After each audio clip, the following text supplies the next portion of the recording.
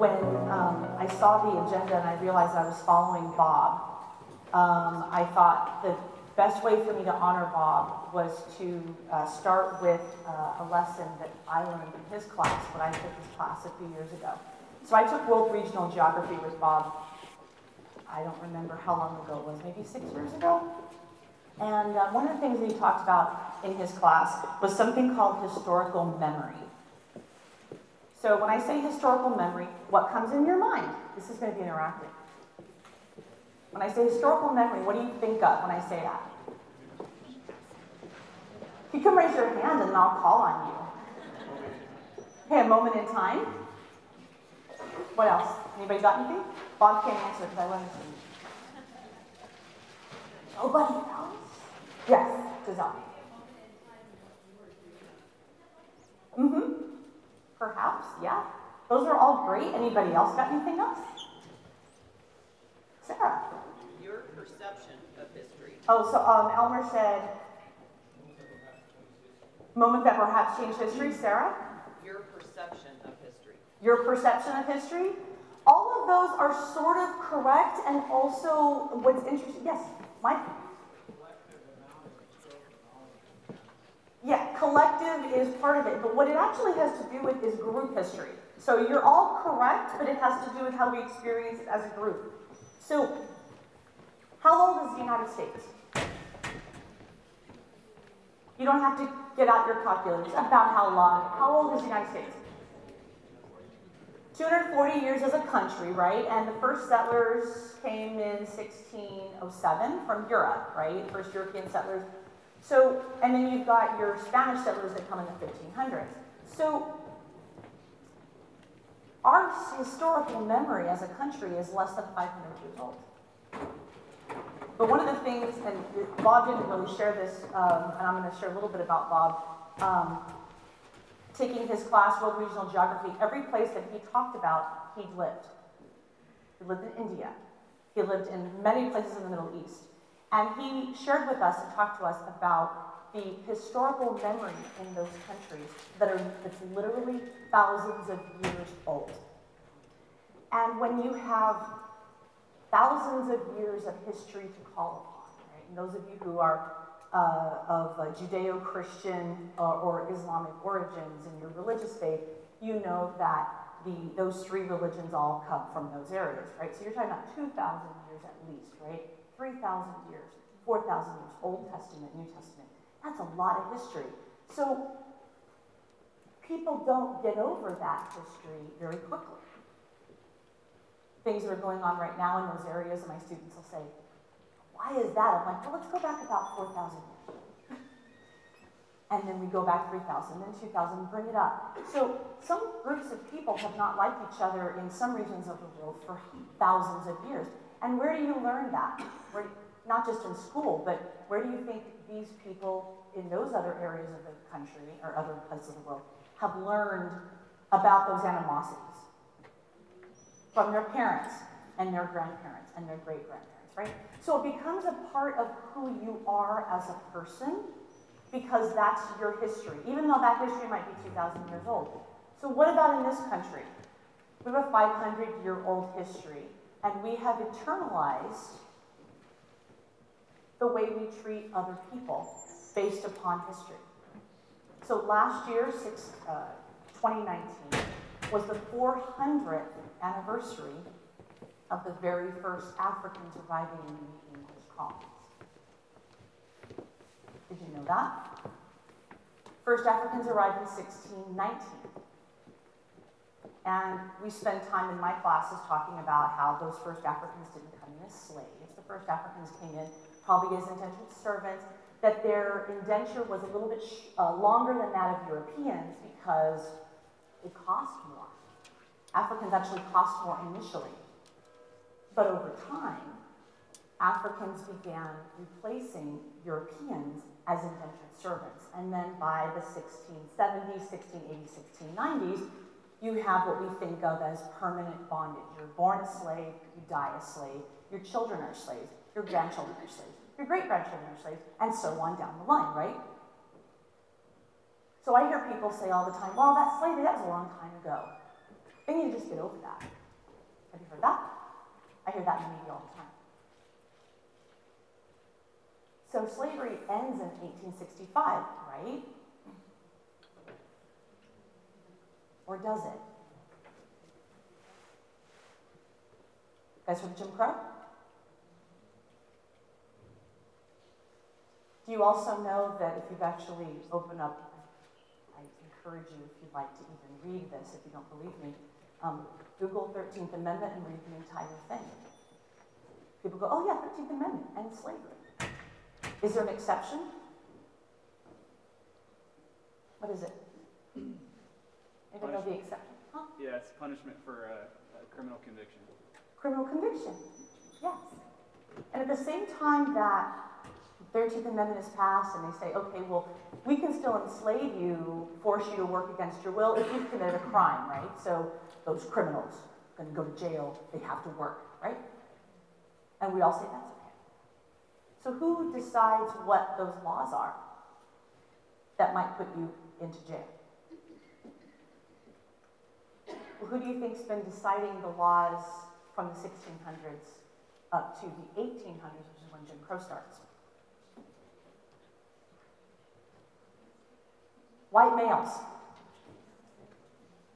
White males. Now, this is not going to turn into a white male bashing talk. But I do think it's important to note that white men have had, are the ones who have been creating those laws, right? Now, white women benefit from those laws. So I'm a white woman, if you didn't know. I'm a white woman, and I uh, teach Chicano history, I teach African American history. And the first thing I do on the first day of class is I say, guess what, I'm a white female. And then I say, guess what, I have privilege. And no, I did not enslave you. In my African American history class. But that doesn't mean that I'm not partially benefiting from that 450 year old history in our country. Does that make sense? I share that at the very beginning, and then it gets it out in the open. They go, What? Because the word privilege makes people really uncomfortable. Because they say, Oh, well, privilege, that means you think I got everything for free. I worked my ass off for my degree, two degrees. And I'll tell students that. I had two kids while I was in college. Uh, one, one semester, I had four W-2s from four different jobs, and they weren't four different jobs in the same year. It was four jobs at the same time, plus going to school and changing diapers. Ugh. And I remember missing class because I didn't have childcare. That's what Rodolfo said a minute ago about childcare. Yeah, I remember doing that. So, yeah, I worked really hard. But there's things I didn't have to work at. Like, I walked into a room and I was treated fairly. I walked into a room and I wasn't treated like I was a second class citizen. Now, my womanhood has, I've encountered things like that because I'm female. But I've also encountered privilege being a white female that African American women and my Latina sisters don't experience. Because white women are sort of put on a pedestal. We're pedestalized. That Victorian womanhood stuff. But Latina and African American women are oftentimes treated as, it, it's, it's actually called the, the, the Mary Eve dichotomy, Eve being the fallen woman, or the Jezebel. That's a biblical term. Jezebel was a queen and moved a, an a, I'm sorry, a Judean king away from God. So that Jezebel. So in other words, you're a whore. I speak real. If you're, yeah. This is how I talk in class to you, by the way. So that's that's the stereotype. So I get pulled over by the police, and yeah, I sped. Trust me, I, I. I work at West Hills. We all speed. That's how we all get to work on time, right? But I don't have to worry about other than, and I just got a ticket. I don't have to worry about whether or not the police officer is going to see me as a threat because he's not going to see me as a threat. Because I'm a nice little lady. That's privilege. So what happens in our classrooms is the collective historical memory of our students. They bring that with them. They bring it with them. And so we have to acknowledge that. We have to recognize that. And oftentimes, it's not even something that our students are fully aware of. What they know are the messages that they've heard, the stories they've heard, and they internalize them. I'll give you an example. So the very first semester I taught African American history, which was like five years ago, um, it was a spring semester, and um, I had a student. She sat in the front row, um, and she is, she works for the college now. And um, as we were talking about the content, and she shared with the class the very detailed and grotesque lynchings of both of her grandparents. This student is younger than me. I'm 48. She's younger than me, a lot younger than me. I think she's in her like 30s.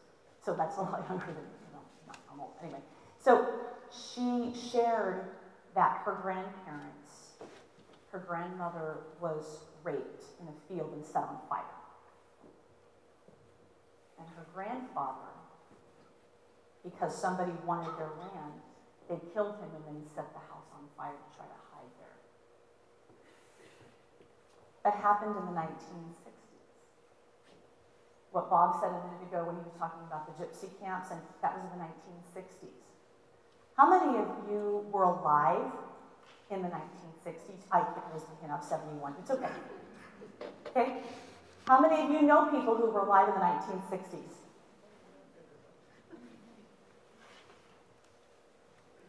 School desegregation happened in, in some of you, your lifetimes or your parents' lifetimes. So as we hear our parents and our grandparents tell us the stories of the way that they were raised, we internalize that. Their history becomes our history. Their stories become our stories, and then we internalize them.